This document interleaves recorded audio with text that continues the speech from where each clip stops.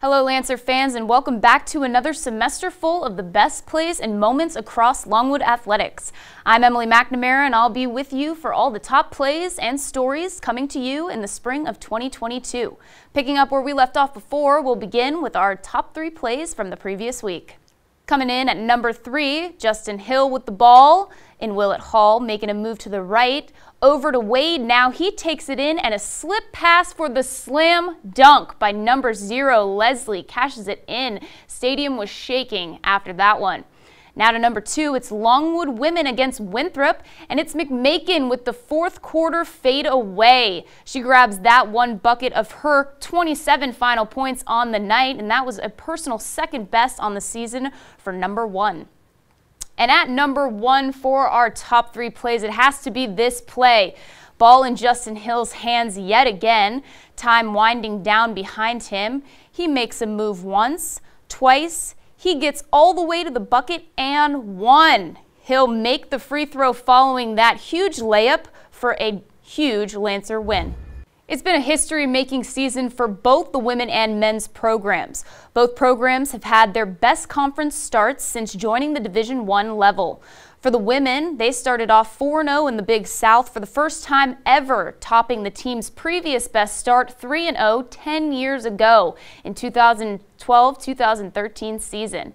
Now sitting at 6-2 in the conference, over the weekend the women had back-to-back -back games against Gardner-Webb and Winthrop grabbing a 2-0 record with an 86-75 win over the running Bulldogs on Saturday and a massive victory over the Eagles 85-58. And as for the men, they also added two wins last week. On Wednesday, the Lancers had a come from behind win in the second half, pushing them past Campbell 72 to 64. And over the weekend, as we saw earlier, a buzzer beating and one from sophomore guard Justin Hill put the Lancers on top over Presbyterian 71 to 70. These two wins add to the hot start for men's hoops, putting the Lancers at 4-0 in the Big South, winning five straight. The team is now only one of two teams in the conference that remain unbeaten. The team improves to an overall record of 12 and 5, with both the conference and overall record representing the program's best in the Division One era. Lancer Central's Victoria Coleman highlights the historic season for the Lancers and has more on all its accomplishments so far. The Lancer men's basketball team have had an impressive start to the 2021-2022 season. They started with the loss at Iowa but quickly regained footing with a four-game win streak versus the Virginia University of Lynchburg, Mid-Atlantic Christian, American University, and UMBC. A breakout player in this season's start was Leslie Nkereuwem, who was named Big South Player of the Week on November 22nd and has solidified himself as a top forward in the conference after consistently scoring in the double digits during the Jerome Kersey Classic. They picked up a couple more losses late into the pre-conference, but managed to keep six consecutive opponents under 65 points. The Lancer men closed pre-conference play with four additional wins versus Delaware State, Morgan State, Carolina University, and Pfeiffer University, where Isaiah Wilkins dropped 21 points against the Falcons. The Lancer men entered conference play with an overtime win versus Radford and a home victory versus Gardner Webb on the 15th. This 2 0 record stood as the team's best start to conference play in six seasons.